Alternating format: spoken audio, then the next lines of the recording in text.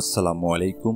আমন্ত্রণ জানাচ্ছি CBN sports আপডেটে নিউজিল্যান্ডের বিপক্ষে পাঁচ ম্যাচের টি টোয়েন্টি সিরিজ সামনে রেখে উনিশ সদস্যের স্কোয়াড ঘোষণা করেছে বাংলাদেশ ক্রিকেট বোর্ড বিসিবি। গত সিরিজের স্কোয়াড থেকে বাদ পড়েছেন কেবল মোহাম্মদ মিঠুন, আর স্কোয়াডে ফিরেছেন তিনজন।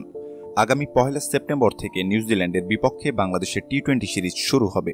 এই সিরিজকে সামনে রেখে মাহমুদুল্লাহ রিয়াদের অধীনে উনিশ সদস্যের পূর্ণ শক্তির স্কোয়াড দল ঘোষণা করেছে। বাংলাদেশ দলে ফিরেছে গত দুই সিরিজে না খেলা মুশফিকুর রহিম, লিটন দাস ও আমিনুল ইসলাম বিপ্লব।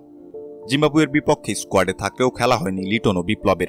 অস্ট্রেলিয়ার বিপক্ষে স্কোয়াডে থাকা ক্রিকেটারদের মধ্য থেকে নিউজিল্যান্ড সিরিজে স্কোয়াডে নেই কেবল মোহাম্মদ মিঠুন।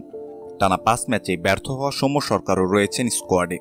কোনো ম্যাচ খেলার সুযোগ না পাওয়া তাইজুল ইসলাম, রুবেল হোসেন, তাসকিন আহমেদরাও রয়েছেন স্কোয়াডে।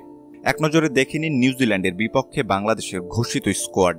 মাহমুদুল্লাহ রিয়াদ, সাকিব আল হাসান, মুশফিকুর রহিম, সৌম্য সরকার, লিটন কুমার দাস, মোসাদ্দেক হোসেন সৈকত, আফিফ হোসেন ধ্রুব নাইম শেখ, নুরুল হাসান সোহান, শামীম হোসেন পাটোয়ারি, রুবেল হোসেন, মুস্তাফিজুর রহমান, তাসকিন আহমেদ, মোহাম্মদ সাইফুদ্দিন, শরীফুল ইসলাম তাইজুল ইসলাম, শেখ মাহিদি হাসান, আমিনুল ইসলাম বিপ্লব ও নাসুম আহমেদ সম্মানিত দর্শক নিউজিল্যান্ডের বিপক্ষে বাংলাদেশের স্কোয়াড নিয়ে আপনার মতামত জানাতে পারেন কমেন্ট সেকশনে।